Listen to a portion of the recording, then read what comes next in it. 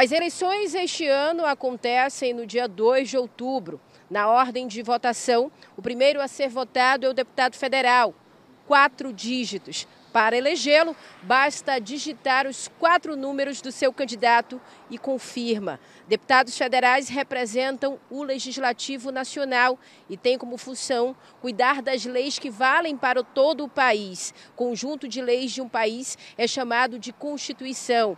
A quantidade de deputados por estado depende do tamanho da população local aqui no Amazonas, são o que define o total de representantes. É inovação é compromisso com a cidadania. É Grupo Norte de Comunicação das eleições 2022.